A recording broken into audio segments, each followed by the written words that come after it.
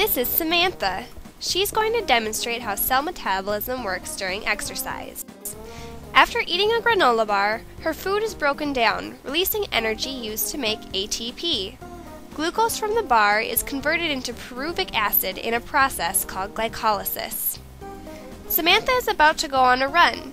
Right now, she's using aerobic respiration. During aerobic respiration, pyruvic acid and oxygen enter the mitochondria and go through a series of reactions called the citric acid cycle and the electron transport chain. These reactions produce carbon dioxide, water, and up to 38 ATP.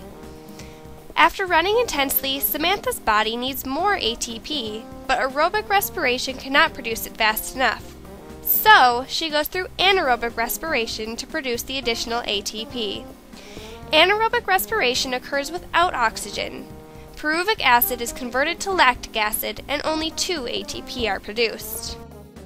Although anaerobic respiration does not produce as much ATP, it helps cells to continue to function when oxygen levels are low.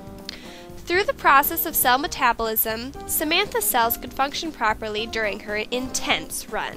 Whew, what a workout!